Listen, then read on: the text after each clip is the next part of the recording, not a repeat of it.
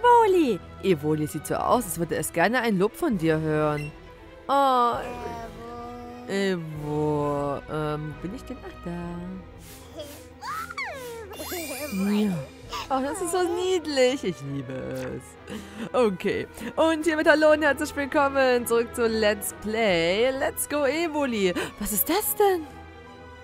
Oh mein Gott. Oh, Kyoto hat ein Geschenk für dich.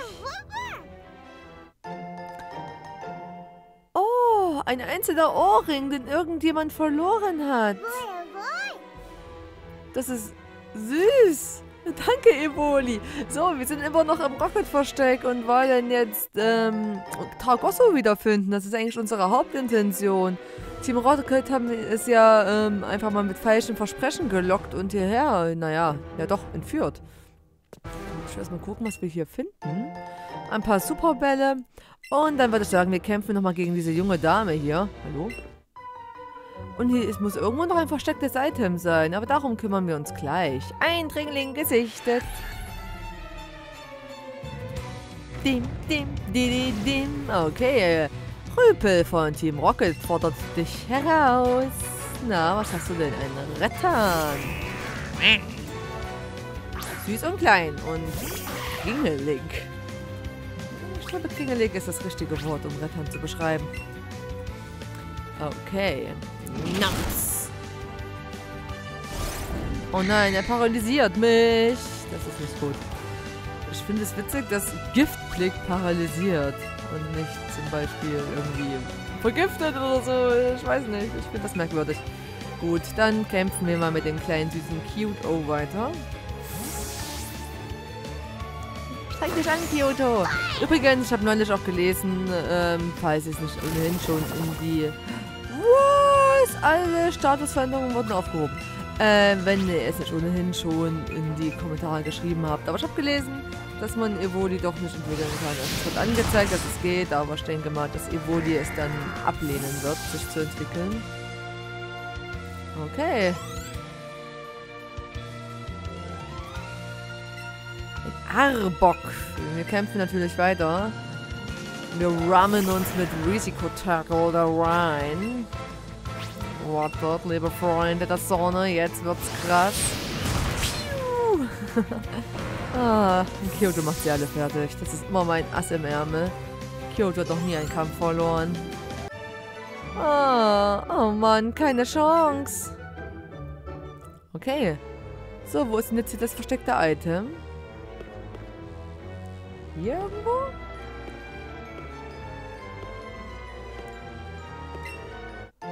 Ein Hyperheiler. Na, besser als nichts. Okay, dann geht's erstmal wieder zurück. Ja.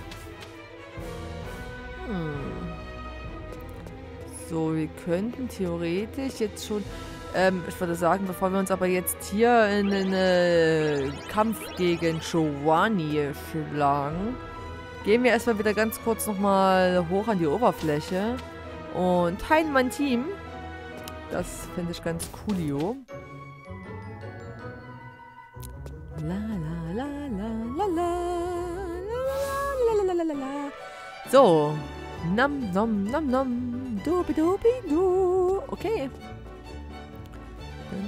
Hier ist das Pokécenter. Das geht ja relativ flott. Hätte ich jetzt nicht gedacht, dass wir so schnell im Pokémon Center sind. Aber das ist gar nicht mal so schlecht. So.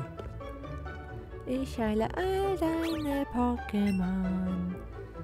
Und ich will nichts dafür haben. Da, da, da, okay, sorry. Ich war gerade in Dusel-Wuselland. Okay. Dam, da, dam, bam, bam, bam, bam, bam. Entschuldigung, ich bin immer von dieser Prismania City Musik so angetan.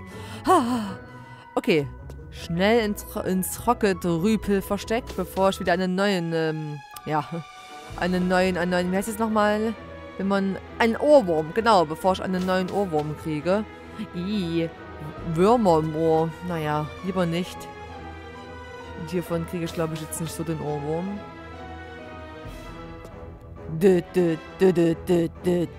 okay. Nein, ähm, jetzt bin ich hier allerdings eins zu tief unten. Ich muss wieder hoch. Also ist mein Fehler. Es tut mir leid. Ich war gerade so ein bisschen im Musikrausch. Hier, genau. Das sieht korrekt aus. Dann fangen wir mal an.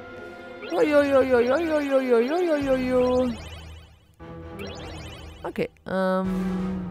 Und weiter geht's. Okay. Mhm. Ich hätte auch das hier nehmen können. Egal. Manchmal gehen auch mehrere Wege. Manchmal führen alle Wege nach Rom. Oder fast alle zumindest. So. Haben wir das jetzt hier nun auch geschafft? Sehr schön. Und dann können wir jetzt hier den Aufzug verwenden. Coole Sache das. Äh, wir gehen erstmal ins erste Untergeschoss. Da war ja auch noch was. Wenn nicht ganz das, was ich dachte. Hi. Sieh mal einer an. Hm, hat sich etwa das kleine Kind verlaufen? Na, geht so. Aber danke der Nachfrage. So, Herr Rocketrüpel. Ein Zubot setzen Sie ein. Das ist ja ganz interessant. Hast du sonst nichts? Na, was anderes. Mal gucken, was das wird.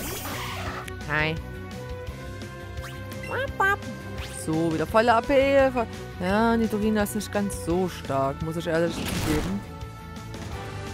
Oh Gott, jetzt kommt sowas. Ich muss jetzt habe ich nervenverwirrende Attacken, die verwirrte Pokémon machen.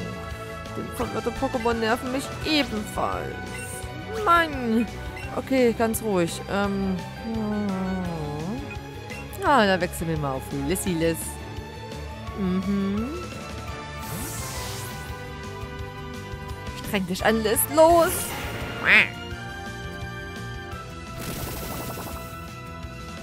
Danke, das war sehr äh, erheiternd. Super. So, weiter geht's. Okay, das ging einfach. Coole Sache, das. So. Und der Rest des Teams erhält ebenfalls Erfahrungspunkte. Und ein Nebulak. Und dann kämpfen wir mal weiter. Aber für Texo, du kannst dich zufällig Biss oder sowas, oder? Nein.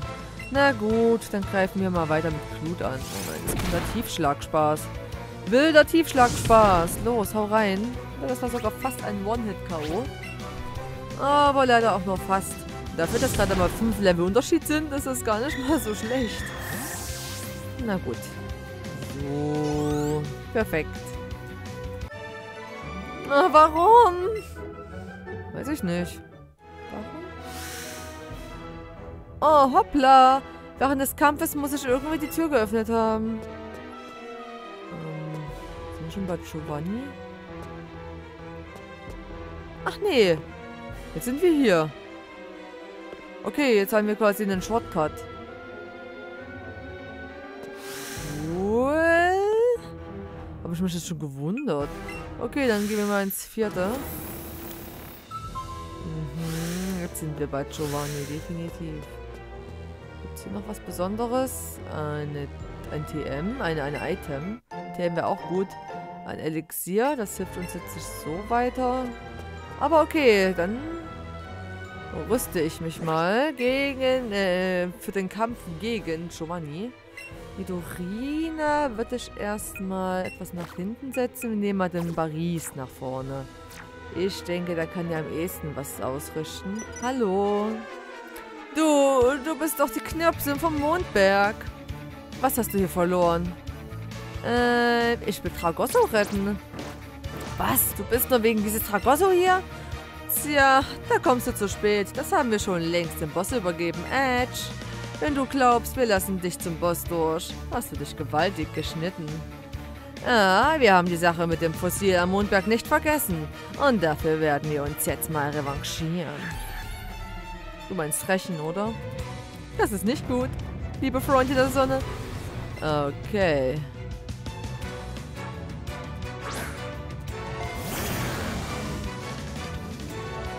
Haben sich entwickelt. Hm. Na guti. Äh, wie fangen wir an? Donnerblitz. Wir gehen erstmal auf eins und dann gehen wir aufs andere. Ich finde, das ist eine gute Idee.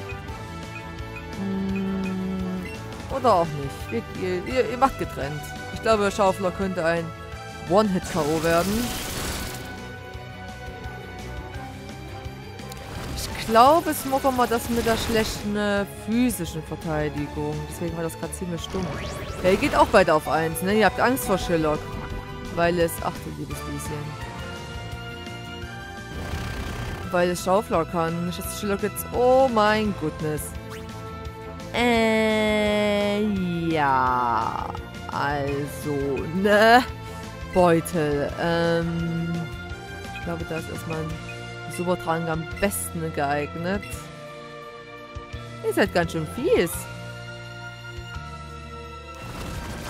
Ey, ey, ey, hör auf mit deinen Gifthieb-Attacken. Ihr seid ganz schön stark. Was habt ihr denn für ein Level? Dann muss ich gleich mal gucken. Nein, und vergiftet wurde Boris jetzt auch noch. Oh, los, Sherlock. One-Hit-K.O. Wow, das war super schlecht.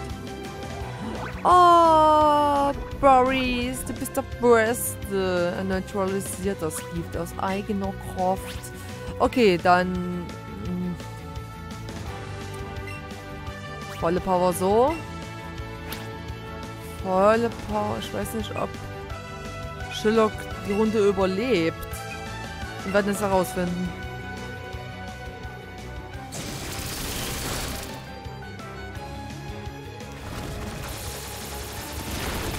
Uiuiuiui, ui, ui, ui. das hat wehgetan. Armer kleiner Paris. Okay. Okay, da, ich hätte mir um Schillock vielleicht weniger Sorgen machen sollen. Okay. Cool. Gut, jetzt ist es 101. Oder halt, nein, ich guck nochmal nach. Es ist 201. ähm, Lissy Boy. Oder eher gesagt Girl, man weiß nicht genau. Liz, Liz ist Transgender. Jetzt wird es auf jeden Fall knackig. Blut. Na, auch egal. Und wir wechseln mal besser. Auf Kyoto. Los geht's. Hallo? Sehr gut. Es geht los. Kyoto, du schaffst das. Why? Ja. Oh, wen paralysiert er? Die beiden sind echt gut. Muss ich sagen. Also nicht unschaffbar jetzt, aber es ist besser als erwartet. Ne? Hm. Wisst ihr? Hm. Ist schon äh, gar nicht so schlecht. Ähm, die gute alte Risikotackle. Attacke. So. Ich denke mal, das Arbok hat jetzt keine Chance mehr, aber war schon ein Brocken. War schon ein kleines fieses Bröckchen, die beiden. So. Schon ordentlich Erfahrungspunkte abgestaubt. Und Bisaflo wieder hart am Davonleveln, wie es halt so ist. Immer diese Knirpse, die einem einen Strich durch die Rechnung machen. Dabei hatte ich diesmal so ein gutes Gefühl. Naja, war auch gar nicht mal so schlecht, muss ich ehrlich sagen. Aber es hat dann noch nicht gereicht. Okay. Fahr bitte bloß nicht ein, nur weil deine Pokémon ein klitzekleines bisschen stärker sind. Genau, schließlich sind wir hier die Erwachsenen. Äh, wenn diese Rotznase sich nicht von unserem Pokémon aufhalten lässt, müssen wir uns eben selbst drum kümmern. Hey, Wally, Wally! Was? Ah, das war wieder ein Schuss in den Ofen. Oh, ups. Schlag mit meinem Bildschirm. Ah, Evoli schaut genervt aus der Wäsche. Süß. So, jetzt werden wir uns gleich Giovanni stellen. Ich weiß nicht, ob er schon kämpfen möchte. Ich habe wirklich keine Erinnerung mehr. Also der Kampf gegen Team Rocket war schon, das war schon ein saftiges Stückchen. Stückchen. Aber Giovanni, der, wenn wir gegen ihn kämpfen müssen, der wird nochmal härter.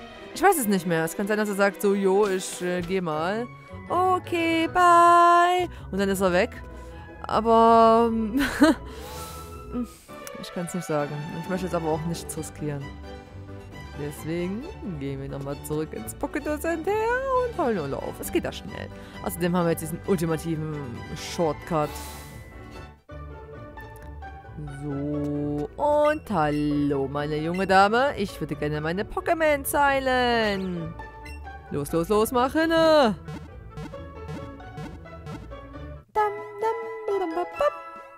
Sehr schöne Sache, das. Okay, vielen Dank für deine Geduld. Deine Pokémon sind in der Top 5. Bitte besuch uns bald wieder. Bitte, bitte tu es. Okay. Das werde ich tun tun. Nur für Sie, Lady. My Lady. Da, da, da, da. Da, da, da, da. La, la, la, la, la, la. Oh, warte. Ah, ne, da war ja bestimmt wieder nur irgendwelche Bonbons. Ich habe noch gesehen, wie Ioli wieder mit seinem Schwänzchen gewedelt hat. Aber, ja, oben liegen ja noch Bonbons rum. Und die sind jetzt, glaube ich, nicht so gut. Und ich bin jetzt auch nicht so krass drauf, dass ich ja alles aufheben muss, was irgendwo rumliegt. Ich muss jetzt auch im Real Life jeden Kronkorken von der Straße sammeln. So, okay. Dann geht's los, ne? Giovanni, Baby. Du und ich, wir. Und da müssen wir gegen den Vorstand kämpfen. Oder wer auch immer das ist. Ähm, diese Sil dieses Sylph-Scope hat all meine Zweifel ausgeräumt. Ich kann jetzt voller Überzeugung sagen, dass die Sylph Company über das technische Know-how verfügt, um unsere Pläne Realität werden zu lassen. Ah, dieses Gerät macht also unsichtbare Dinge sichtbar. Ach, die haben das Sylph Scope schon. Ah. Ich dachte, die klauen das erst noch. Okay. Wie lachhaft ein Kinderspielzeug. Aber nichtsdestotrotz, ich bin bereit, mich auf deine Idee einzulassen. Du kannst mit den Vorbereitungen für die Übernahme der Sylph Company beginnen, Atlas. Jawohl. Oh, was haben wir denn hier? Ein Kind? Ich habe keine Ahnung, wie du hier reingekommen bist. Da du uns obendrein noch dreist belauscht hast, lasse ich das nicht, dich nicht so einfach durchgehen. Ich bin Atlas, ein Mitglied im Vorstand von Team Rocket. Und im Kampf nehme ich keine Rücksicht, auch, auf, auch nicht auf Kinder. Mhm. Oh, mhm, ich bin Atlas. Mhm. Guck mal, wie cool ich bin. Oh Mann. Ich trage eine Weste. Ich muss was Besonderes sein. Und meine Weste kann man nicht mal vorne zumachen. Das hat nicht mal einen Reißverschluss. Oder Knöpfe. Na, Tolli. Das Smog-Mog-Debakel hatten wir doch eben schon. Ah, toll. Ein physischer Angreifer in der Mitte, der hier mitmachen möchte. Kyoto, hast du Bock? Machen wir das so. Es geht los. Los, Kyoto. Wai, wai. Watchbombe. Und Kyoto ist natürlich wieder mal der krasseste überhaupt. Und ist ausgewischen. Die krasseste hier in dem Spiel ist Kyoto ja eine sie. Das ist Kyodek. In die Fresse gejollert. Woo. Autsch. Oh nein, Kyoto. Kyoto, du liebst mich. Du kannst die Vergiftung durch deine Liebe zu mir überwinden, weil die, die, die Kraft der Pokémon-Kraftliebe so stark ist. Bitte. Vielleicht. Egal, wir wechseln einfach gleich.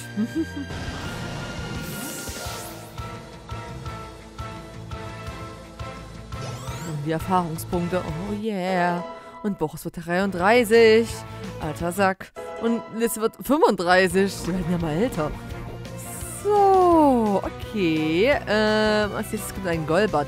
Na, dann würde ich sagen, das ist doch perfekt für dich, Boris. Hm? Schön ein Level-Up mitgenommen. Und jetzt noch. Ja. Jetzt noch schön Golbert weghauen auf jeden Fall.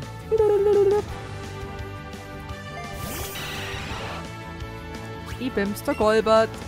Oh, haben beide sogar dasselbe Level. Hau ihn weg. Fast. Ich mag es, wenn sie sich immer so umdrehen zu einem. Und immer so, habe ich das gut gemacht? Wie geht's? Alles cool?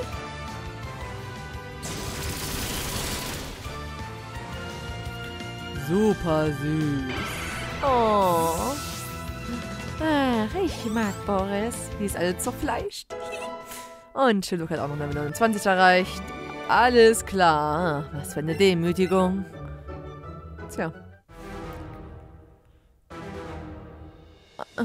Vergib mir, großer Giovanni. Ich habe gegen ein Kind verloren.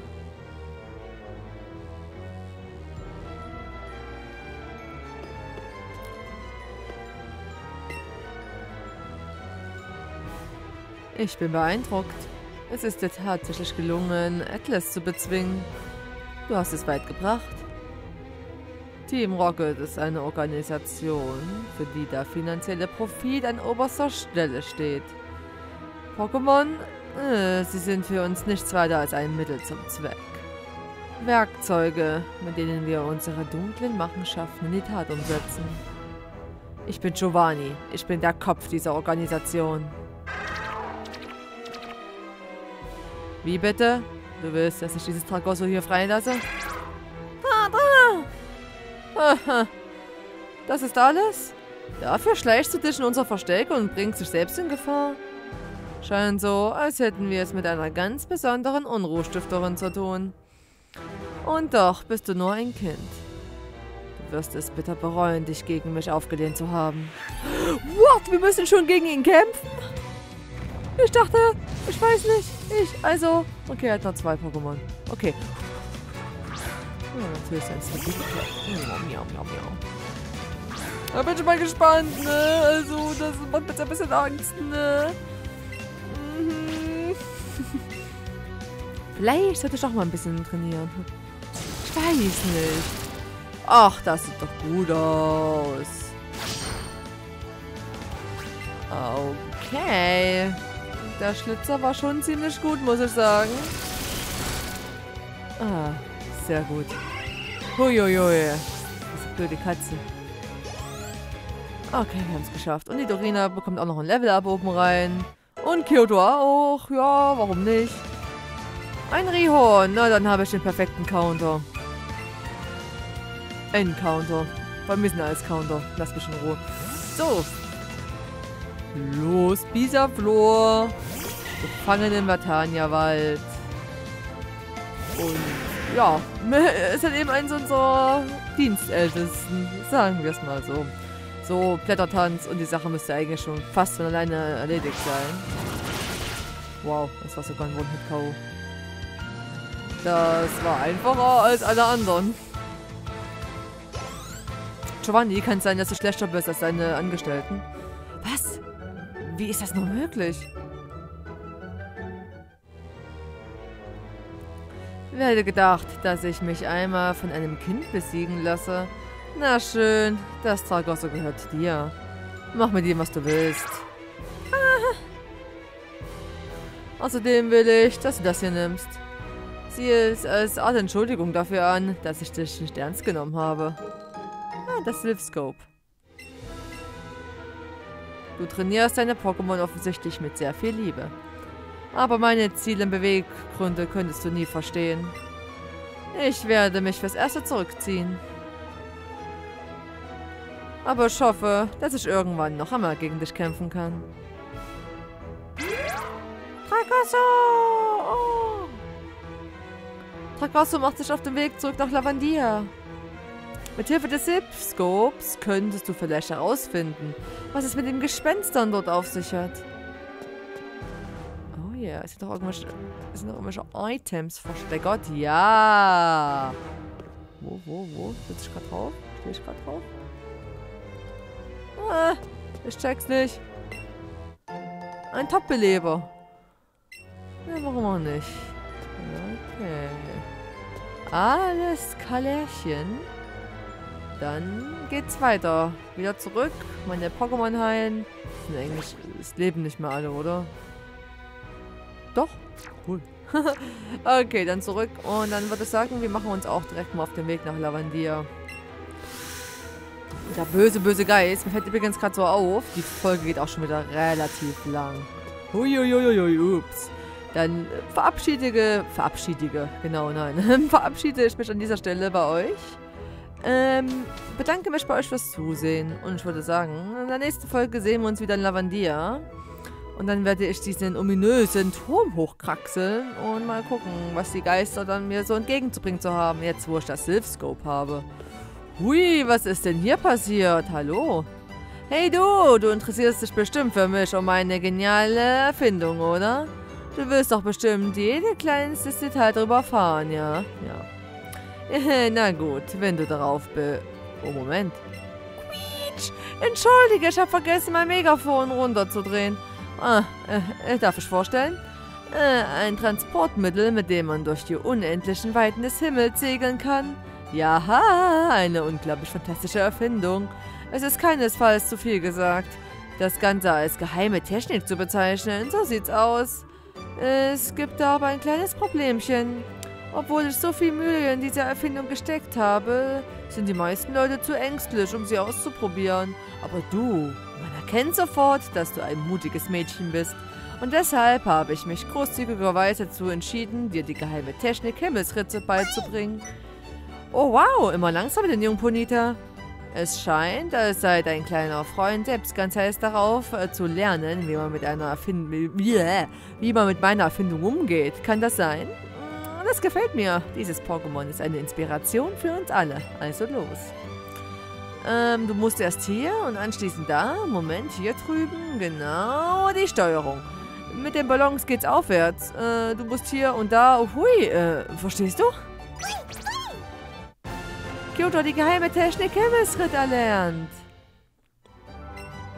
Mit der geheimen Technik Himmelsritt kannst du dich an Orte tragen lassen, die du im Verlauf des Abenteuers schon mal besucht hast.